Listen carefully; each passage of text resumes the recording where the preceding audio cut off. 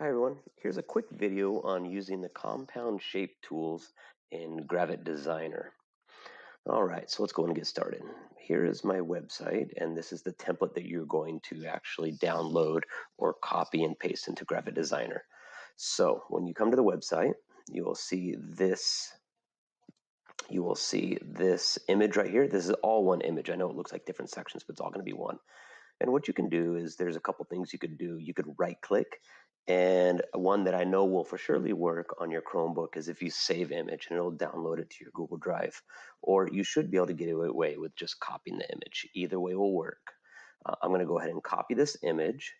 And I'm going to come over to my Gravit Designer tab and start off with a typical US letter landscape, 8.5 by 11 sheet of paper. And when you're in Gravit Designer, you will have to go Control V is the one command that does work in Gravit to go ahead and paste it. So I copy the image, paste it in Gravit.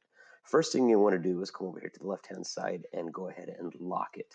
What locking it does is it keeps it from moving around when you click and drag around it. Control Z, Control Z to move it back, come to my image layer and go ahead and lock it. Therefore, this is no longer movable. It's glued down. It does not move.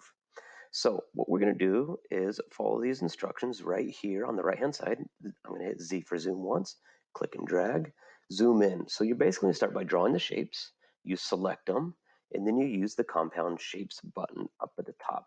So let's move over. Let's start with this first one called union. Again, Z for zoom, click and drag. You're going to start by creating these shapes right here on the left hand side. I'm going to start with this bottom pill shaped, which is actually, it's not a circle or an oval. It is actually a rectangle here. So I'm going to click on my shapes, come down to rectangle. I'm going to start at this top right corner of where this pill starts, click and drag all the way over to about here. And let me go ahead and change the color so we can see this a little bit better. And I'm also going to um, add a border on it so you can see what I'm doing. And one other thing I'd like to do is on the fill right here, slide over to where it says 100%, click once, highlight it in blue. I'm going to type 30, enter. And that reduces the opacity so we could see through it. And you could see the shapes behind it. All right, now that this rectangle is still selected, I'm going to come over here on the right hand side where it says corner and take this slider and slide it all the way over and it rounds the corners out.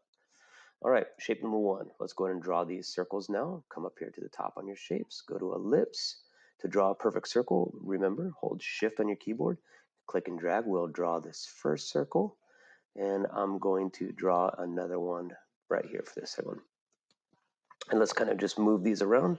I could use my mouse or just even use the arrows on my keyboard. Click, click, left, left, down, down, down.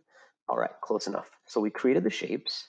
Now to create this cloud over here on the right, we're going to use the compound shape buttons. Actually, let me move this one up just a little bit. It is a little bit below. Um, if you want to get this perfectly level, I, let's take a moment here.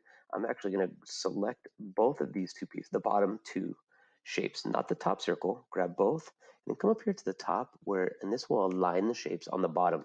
And boom, now they are perfectly lined up at the bottom here. All right, so well, I'm going to select all three shapes. I'm going to just to move over here for the sake of this video, for the sake of, I'm to move it over here.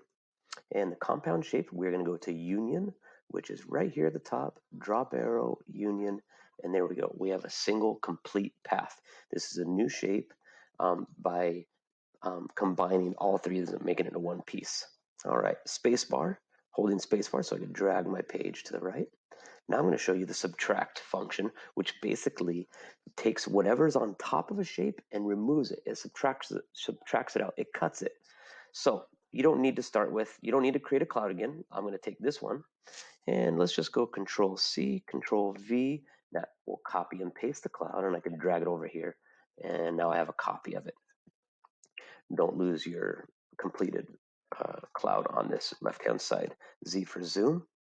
Now for this one, I do need to draw this triangle and this rectangle. So let me come back up here to my shapes, go to my triangle, and I'm going to click and drag.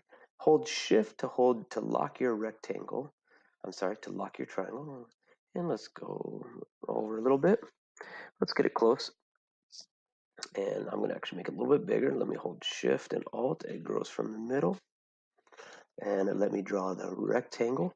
And you do need, let's make sure these overlap. So I'm kind of overlapping it on the triangle, this rectangle overlaps onto the triangle and out of the cloud. All right, so let's take this. I'm gonna move it over here and let's just go over here up here to the top to the compound shapes and let's go and click subtract. And it's gonna take whatever's on top and remove it from the bottom shape. And as you can see, this is now a complete uh, vector path. We can change the color to whatever we want, which I do. Oops, let me select the shape.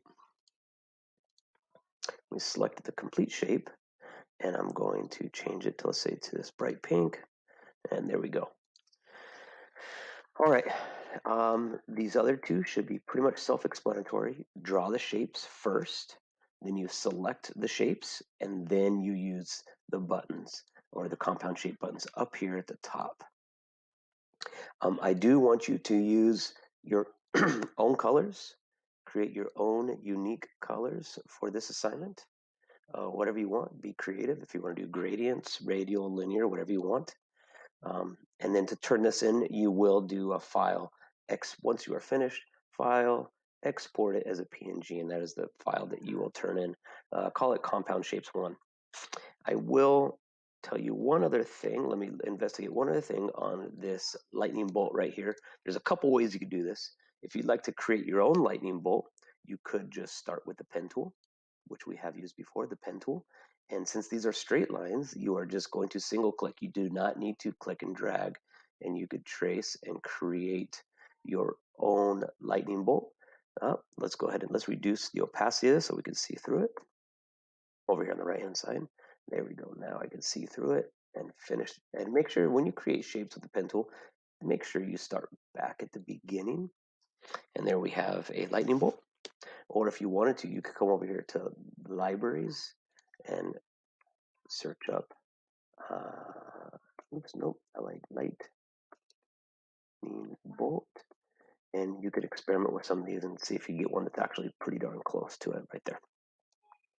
All right, if you have any other questions, spacebar. If you have any other questions, go ahead and let me know.